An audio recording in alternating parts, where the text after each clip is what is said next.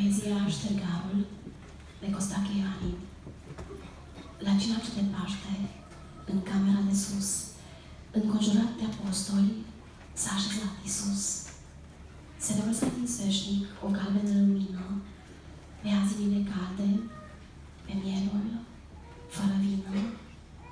I-a plăcut prilejul și toate pregătite, dar vai, uitase gazda o slugă trimite, un rob sau o copilă, ca după vremii lege, cureaua de pe glesne pe rând, să le deslege, să le aline talpa pe colbul de pe drum. Și acum, cei 12, sfielnic oarecum, se întrebau în cuget, cum vor ședea la rugă? Sau cine își va pune ștergarul cel de slugă? O, iată cum se încruntă, privind cu tulburare, când vațale cu apă, când praf, praful pe picioare. Și Duhul îi întreabă, în fiecare zboară, mai vrea să spui tu, Petre, ștergarul asta seară? Chiar eu nu știu de bine, eu doar sunt mai bătrân. Dar tu, tu cel mai tânăr, eu stau lângă stăpân. Dar tu întreabă Duhul, acum pe Andrei, chiar eu sunt cel din urmă la Domnul dintre ei.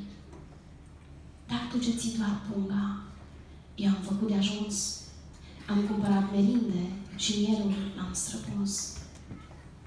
Tu, Toma, nu vrei oare să fii tu cel ce spală?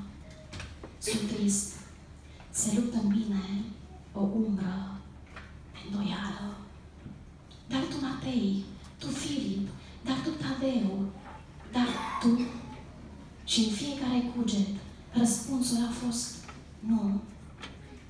Atunci, lăsându-și brâul și haina într-un ungher, s-a ridicat stăpânul cel coborât din cer și înfășurând ștergarul, s-a plecat ușor să-și spere ucenicii ca rob al tuturor. De atunci, pe apa vremii, atâția ani s-au dus și acum, a câta oară, se așează iar Iisus să întrebe tot prin Duhul pe cei ce îl înconjoară. N-ai vrea să spui tu, Gheorghe, ștergarul asta seară? Tu, soră Măioara, tu, Radu, tu, Mihai, frumos să fii odată acolo sus în rai.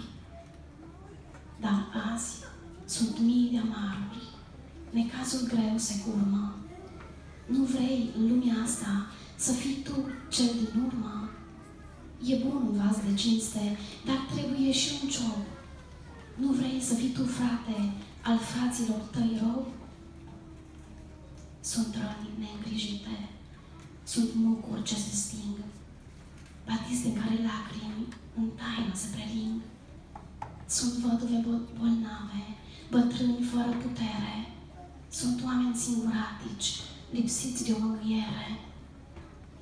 Sunt prunci rămași acasă, cu mamă în spital, bolnavi care așteaptă un salvator semnal. Se cere o stenială și jertfă uneori și nopți de priveghere și iarăși muncă în zori.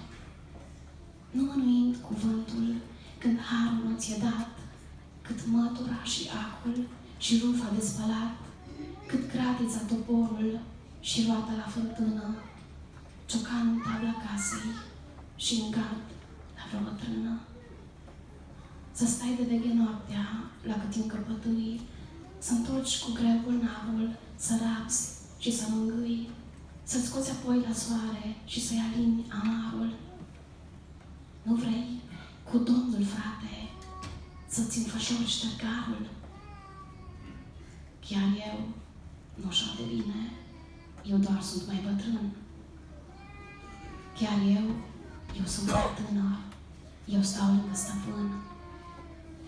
Chiar eu, eu nu am vreme, eu am făcut de ajuns.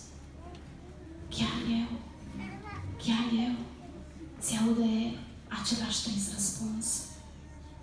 Atunci, lăsând să-i cadă cu luna lui și haina, iubirii fără margini, trăindu-și iarăși taina, Încet, a câte oară, se apleacă iar Iisus și plin de atâtea gânduri, ștergarul ea și-a pus.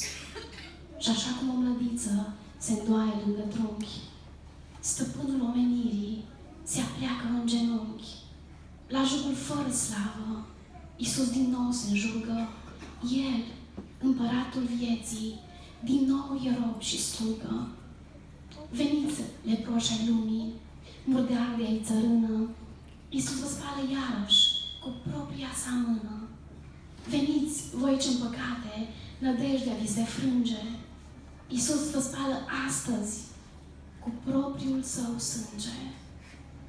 Voi, frați, goniți mândria, visările și somnul, luați cu drag ștergarul, alăturea de Domnul și nu uitați, pe cale orice lucrare bună, dar cine ia ștergarul, acela ia cu lună.